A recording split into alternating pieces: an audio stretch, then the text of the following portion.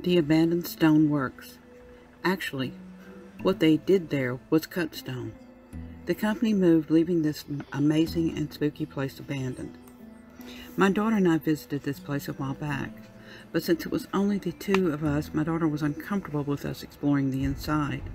She had with someone else a few days prior, and there are a lot of hidden little nooks and crannies, as well as some obstacles, so she didn't feel comfortable with us taking a chance on getting hurt. Anyway, back to this lovely, creepy little place. Yes, it is creepy, and not so little. What you see in these images are only part of the ground inside that fence. There were outbuildings everywhere.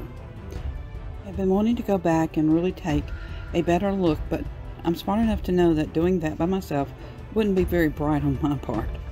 I fell in love at first sight, however. This is the kind of place where you could do a great horror video without a lot of effort.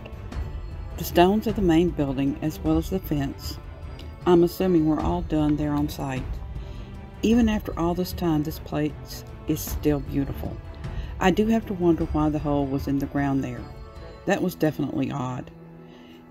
It looked to have a built-in stone bench.